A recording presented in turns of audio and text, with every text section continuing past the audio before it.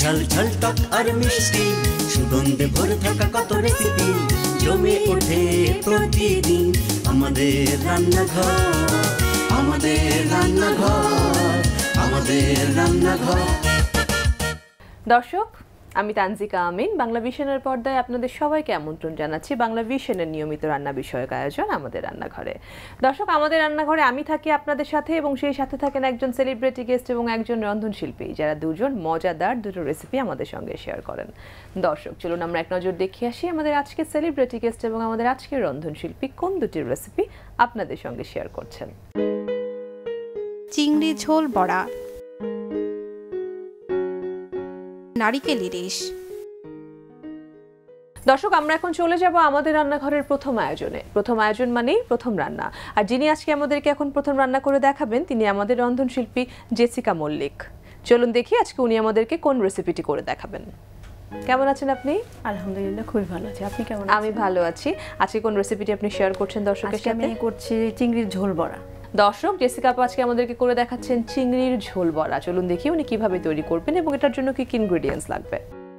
চিংড়ি, আদা বাটা, রসুন বাটা, জিরা বাটা, হলুদের গুঁড়া, লবণ, পেঁয়াজ কুচি, পেঁয়াজ বাটা, মরিচের গুঁড়া, ধনিয়া গুঁড়া নারিকেলের পেস্ট। দর্শক আমাদের ইনগ্রেডিয়েন্টস দেখার পালা শেষ। আমরা চলে যাব এখন সরাসরি রান্নায়। আমরা স্টার্ট করি। চিংড়ির ঝোল বড়া কি কোনো অথেন্টিক মানে কোনো জায়গার স্পেশাল হ্যাঁ কিছু? এটা আমাদের বরিশাল অঞ্চলের অথেন্টিক রান্না একটি। আর এই রান্নার নামকরণের সাথে রান্নার একটা মিল আছে যেটা হলো চিংড়ির ঝোল বড়া। মানে বড়াটা হবে ঝোলে। আচ্ছা। জন্য এটা নাম করা হয়েছে ঝোল বড়া। চিংড়িটাকে একটু পেস্ট করে নেওয়া হ্যাঁ চিংড়িটা পেস্ট করে নিয়েছি। এখন আমি এটার সাথে কিছু মশলা অ্যাড করব। আচ্ছা ঠিক মিক্স করে নেব। এটা কি পুরো চিংড়ির পেস্ট? হ্যাঁ চিংড়ির পেস্ট। আচ্ছা কতটুকু ছোট চিংড়ি ছিল এখানে? এখানে আড়াইশো গ্রাম চিংড়ি ছিল। আচ্ছা। একদম ছোট যে চিংড়িগুলো আমরা বড়া খাই সেগুলো। সেই চিংড়ি আছে মানে কুচো চিংড়ি যেটা কুচো চিংড়ি যেটা হুম হুম হুম। এক চামচের মতো আদা বাটা হাফ চামচ রসুন বাটা জিরে বাটা। আমরা যেহেতু মানে আমি বরিশালের মানুষ না তো রান্নাটা আমি প্রথম দেখছি আজকে সো হোপফুলি বাসায় অবশ্যই ট্রাই করব। হ্যাঁ এখন দিচ্ছি গুঁড়ো মশলাগুলো। হলুদের গুঁড়ো। জেসিকা আপা কি রান্না বান্নার প্রশিক্ষণ নিয়ে আছে? নিশ্চয়ই। আমার প্রশিক্ষণ নেওয়া আছে। আমার একটি স্কুলও আছে পুরান ঢাকায় কুকিং স্কুল। আচ্ছা। সেখানে আমিও ট্রেনিং দেই। এই ট্রেনিং স্কুল কত দিন হয়েছে? ট্রেনিং স্কুল চার বছর হয়েছে। আচ্ছা আর আপনার প্রশিক্ষণ আপনি কোথায় নিয়েছেন? আমি প্রথম প্রশিক্ষণটা নিয়েছি আপনঘর কুকিং স্কুল থেকে। তারপর নিয়েছি টমি মিয়াস হসপিটালিটি ম্যানেজমেন্ট থেকে। ওখান থেকে cooking level one cooking level two করেছি। এখন থ্রি এবং ফোর করব। আচ্ছা স্পেশালিটি কি আপনার? আমি Cooking এর, আচ্ছা। হট কিচেনের আচ্ছা হট কিচেন আচ্ছা এখন আমরা এটা মিক্স করে নিচ্ছি। এইটা তার মানে যেহেতু পেস্ট করা আছে ছোট খুবই অল্প চিংড়ি যার কারণে সময় লাগার কথা না একদমই সময় লাগবে না খুব ঝটপট রান্না হয়ে যাবে আচ্ছা। আর আমাদের বরিশালের সব রান্নাতে আমরা চেষ্টা করি নারকেল বাটাটা ব্যবহার করতে আচ্ছা ওকে তো টেস্ট খুব বাড়ে। মিক্স হয়ে গেছে। এখন আমি ঝোলে চলে যাব। আচ্ছা আমি কি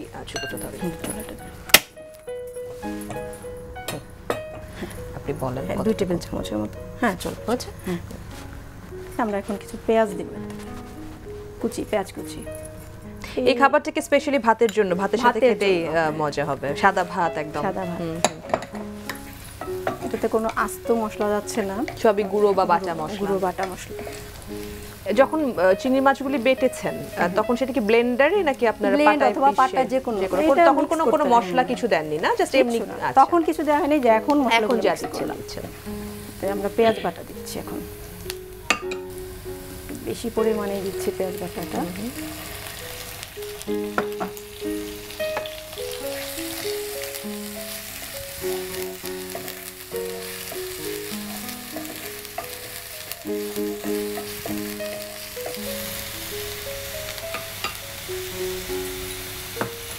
সেই মশলাগুলো আবার সব আচ্ছা। জিরে বাটা আদা বাটা রসুন বাটা। একটু কষিয়ে তারপরে একটু পানি দিব এখন।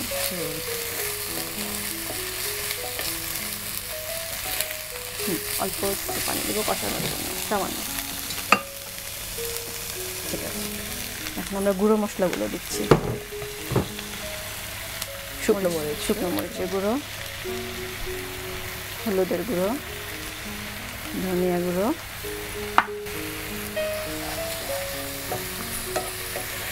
নারিকেল যে তরকারিতে দেওয়া হয় স্বাদ তো এমনি বেড়ে যায় তারপরে আবার চিংড়ি মাছ সব কিছু মিলিয়ে এটা সুস্বাদু খাবার হবেই এটা। মূল উপকরণ থেকে নারকেল নারকেলটা একটু বেশি যাচ্ছে।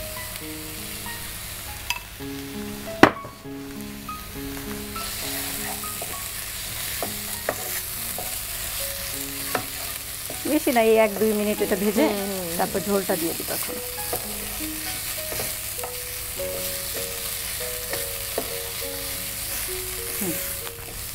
ঝোলটা দিতে পারি। বলেন পরিমাণটা।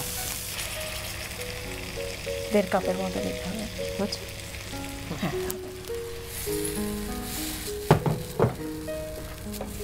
এটা কিছুক্ষণ ফুটবে না? কষবে নাকি এখনই দিয়ে দিচ্ছেন? না ফুটলে পরে দিচ্ছি।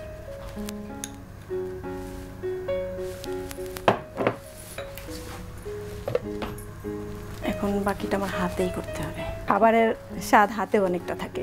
আচ্ছা হ্যাঁ। হাতে যখন আমরা মাখি খাবারের স্বাদটা অনেকটা বেড়ে যায়। এই তো একটু হয়ে মিডিয়াম গেছে? মিডিয়াম করে দিব আঁচটা। হ্যাঁ হয়ে গেছে।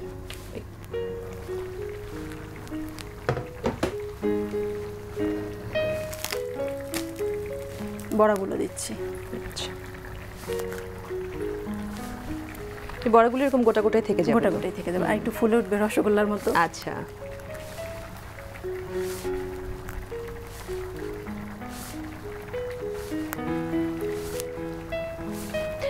পাটায় পিষেও কষ্ট করতে চায় না এটা জাস্ট ব্লেন্ডারে দিয়ে ব্লেন্ড করে করে ফেলে হ্যান্ড ব্লেন্ডার দিয়ে করে ফেললেও হয়ে যায়। মানে কোনো কিছুই।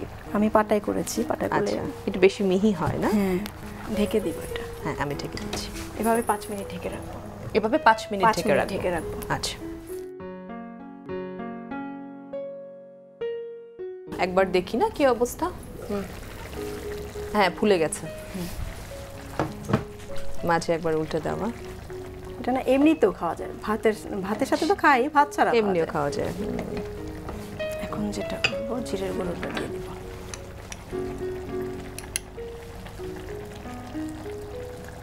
খানিকটা লবণও দিয়ে দিচ্ছি। এখন কাঁচামরিচ দিয়ে দুই থেকে তিন মিনিট ঢেকে রাখ ঢেকে এটা রান্না হয়ে গেছে। হয়ে গেছে।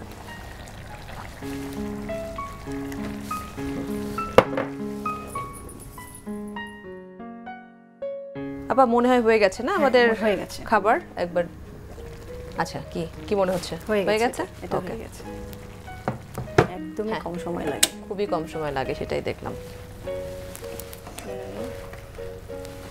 ঝোলটা ঘন ঘন। হুম হুম হুম। চিংড়ির ঝোল বড়া। ঠিক আছে।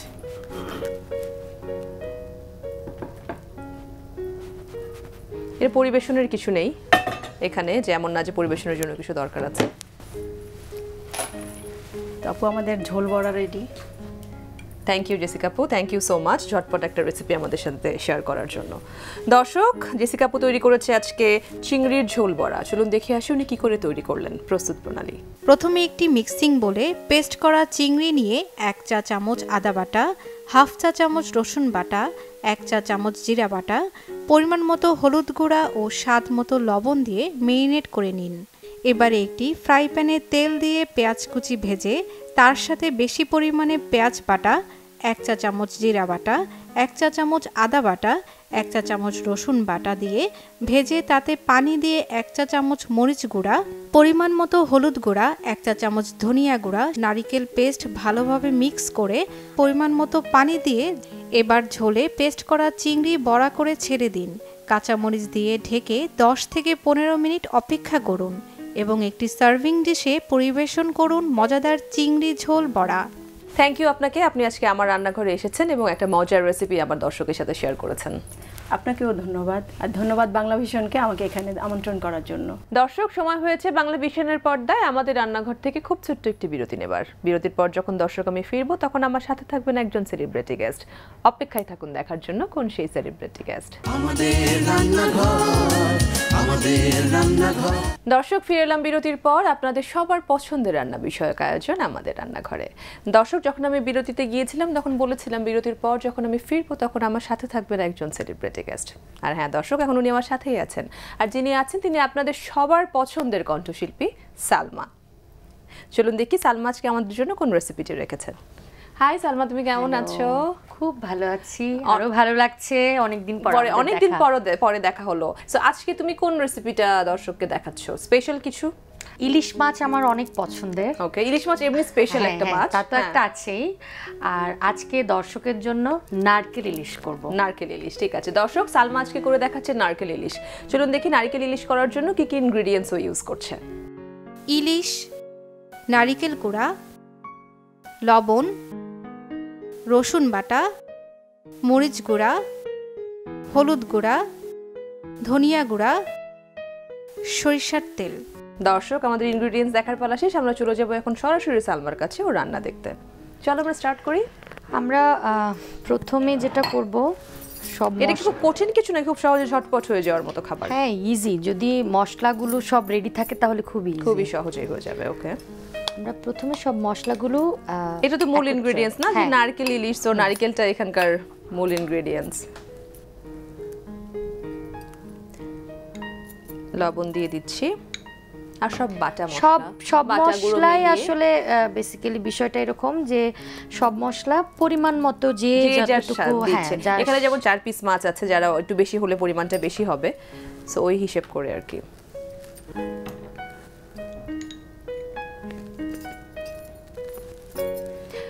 কাজের কি অবস্থা? আবার তো গানে ফিরেছো মাঝখানে তো একটা ব্রেক ছিল বাচ্চা সংসার সামলানো সবকিছু মিলিয়ে। এখন কি অবস্থা আবার? এখন আলহামদুলিল্লাহ রেকর্ডিংগুলো চলছে। রেকর্ডিং চলছে। এবার স্টেজ শো স্টেজ শোটা আগের তুলনায় অনেক কম। আগের মতো অত মানে কর্পোরেট শো কিছু হচ্ছে। আচ্ছা, আচ্ছা। বাকিটা আসলে টেলিভিশনে টুকটাক কাজ আর হ্যাঁ। আমি আসলে যেহেতু অডিও বাজারে কাজ করি বেশি তো অ্যালবামের, হ্যাঁ। So, না প্লেব্যাক না ফিল্মের কাজ।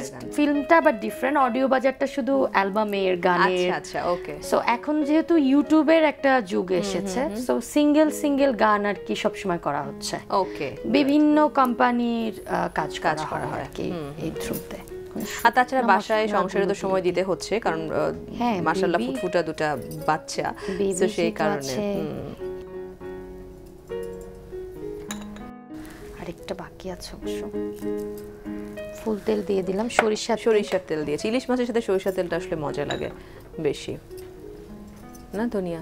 ধনিয়া গুঁড়া। আসলে যে যার টেস্ট অনুযায়ী মানে ঝাল বা লবণের মশলার বিষয়টা হ্যাঁ। এটা এখন আমি মেরিনেট করে নেব। মাখানোটা একটু ভালো করে আসলে মাখালে মাছের ভেতরে সবকিছু ভিতরে মশলাগুলো যেন ঢুকে। হ্যাঁ ইজিলি হয়ে যাবে। একটু মেরিনেট করে রাখলে ভালো লাগবে স্বাদটাও আসবে।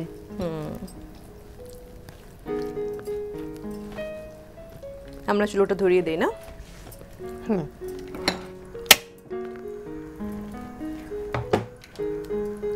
ঢেলে দিব ওকে। সবগুলো মাছ একসাথে ঢেলে দিলাম আর কি।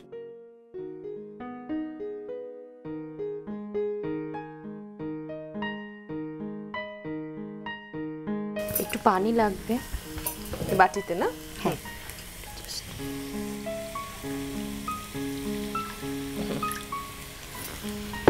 এই ভিতরে যে মশলাটা আছে এটা সহই এখন জাস্ট আমরা দিয়ে দিব আর কি।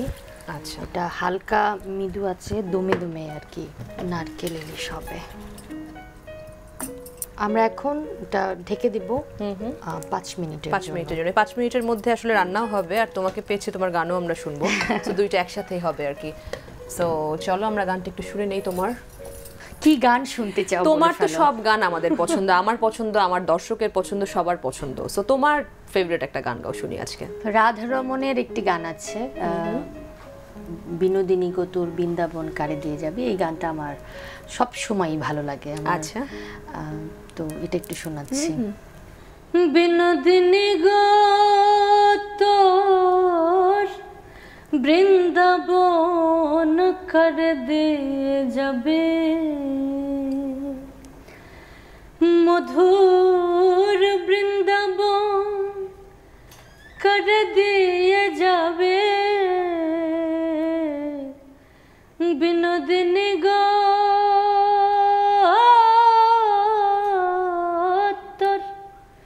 বৃন্দাবন কর দে যাবে। ভাই বে রাধা রোহমন কান্দে, নদীর কুহলে বয়া গো রাধে, নদীর কুল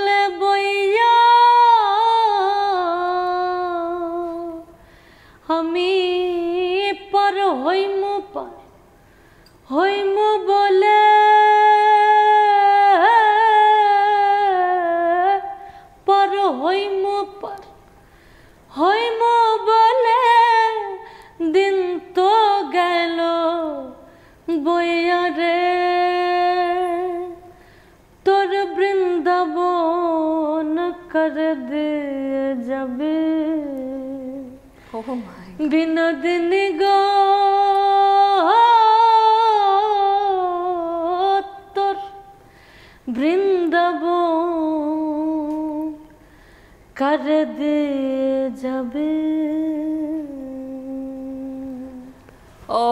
ও মাই গড এত অসাধারণ পাওয়ার ভয়েস এক কথায়। কীভাবে সম্ভব এত সুন্দর করে গান গাওয়া? আমাদের এটা আমাদের এটা আমি হ্যাঁ তুমি দেখো। চেঞ্জ করে দাও একটু জালটা কমিয়ে দিব। অলরেডি স্মেল চলে এসেছে চতুর্দিকে। চতুর্দিক থেকে আমরা এটার একটা মজার স্মেল পাচ্ছি। হ্যাঁ হ্যাঁ হ্যাঁ। আমার হয়ে গেছে হয়ে গেছে আমরা এটা সার্ভিং এ চলে যাই। চুলাটা বন্ধ বন্ধ করে। বেটার হবে।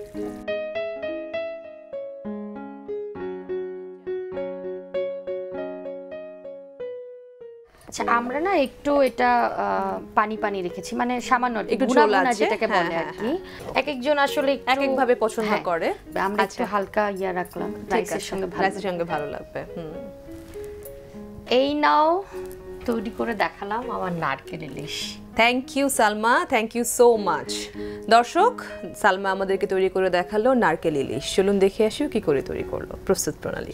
প্রথমে একটি মিক্সিং বলে পরিমাণ মতো ইলিশ পিস নিয়ে তাতে নারিকেল কুড়া, স্বাদ মতো লবণ, এক চা চামচ রসুন বাটা, পরিমাণ মতো শুকনো মরিচ ও হলুদের গুঁড়া, এক চা চামচ ধনিয়ার গুঁড়া, সরিষার তেল দিয়ে সকল উপাদান ভালোভাবে মেরিনেট করে নিন। এবার একটি ফ্রাই প্যানে পরিমাণ মতো পানি দিয়ে মেরিনেট করা ইলিশ ছেড়ে দশ মিনিট জ্বালিয়ে নিন এবং একটি সার্ভিং ডিশে পরিবেশন করুন মজাদার নারিকেল ইলিশ।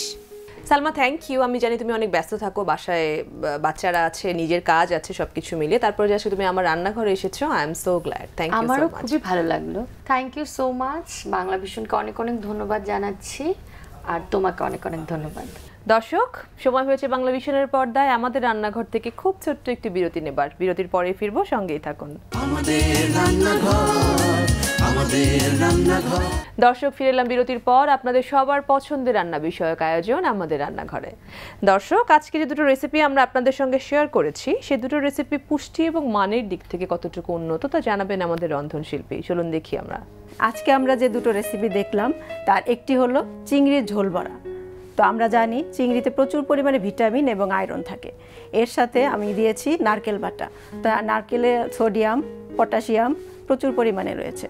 রয়েছে ক্যালসিয়াম। এছাড়া আমরা ইউজ করেছি হলুদের গুঁড়ো আদা বাটা, যেটা আমরা জানি হলুদ একটি আমাদের অ্যান্টিঅক্সিডেন্টের কাজ করে। আদা বাটা প্রচুর পরিমাণে আমাদের শরীরের বিভিন্ন অ্যান্টিঅক্সিডেন্টের কাজ করে। তো ভিটামিনেরও কাজ করে। এর সাথে আমরা আরও ইউজ করেছি কাঁচামরিচ। আমরা জানি কাঁচামরিচে রয়েছে প্রচুর পরিমাণে ভিটামিন সি এবং ভিটামিন এ এর কাঁচামরিচ খেলে আমাদের মুখের রুচি বাড়ে এবং ভিটামিন সি এর ঘাটতি ঘাটতি পূরণ হয়। এরপরে আমাদের যে রেসিপি সেটা হলো নারকেল ইলিশ। তো নারকেল ইলিশে ব্যবহার করা হয়েছে নারকেল বাটা। নারকেল বাটা আমরা তো জানি, পটাশিয়াম, ক্যালসিয়াম ম্যাগনেসিয়াম প্রচুর পরিমাণে রয়েছে, যেটা আমাদের শরীরের জন্য অনেক উপকারী। আর ইলিশ মাছে রয়েছে fatty acid omega three omega six এবং বি টুয়েলভ নামের অনেক ধরনের ভিটামিন এটি একটি সামুদ্রিক মাছ। তো এটা আয়োডিনের ঘাটতিও পূরণ করে আমাদের শরীরে। এছাড়া আমরা আরও ব্যবহার করেছি সর্ষে বাটা। আমরা জানি সর্ষে বাটা খাবারের স্বাদ প্রচুর পরিমাণে বাড়ায় এবং এতে রয়েছে প্রচুর পরিমাণে ভিটামিনস, যেটা আমাদের শরীরের পুষ্টির চাহিদা পূরণ করে। সর্ষে বাটার সাথে রয়েছে সর্ষের তেল। সর্ষের তেলে খাবারের স্বাদ এবং পুষ্টি দুটোই রয়েছে। আপনারা এই দুটি রেসিপি বাসায় ট্রাই করবেন। আশা করি আপনাদের ভালো লাগবে। দর্শক, আজকের মতো বিদায় নিচ্ছি। বাংলা ভিশনের পর্দায় আমাদের রান্নাঘর থেকে। আগামী সপ্তাহে ঠিক এই সময় এসে হাজির হব আপনাদের সামনে। সে পর্যন্ত আপনারা সবাই সুন্দর থাকবেন, সুস্থ থাকবেন, বাংলা ভিশনের সাথেই থাকবেন।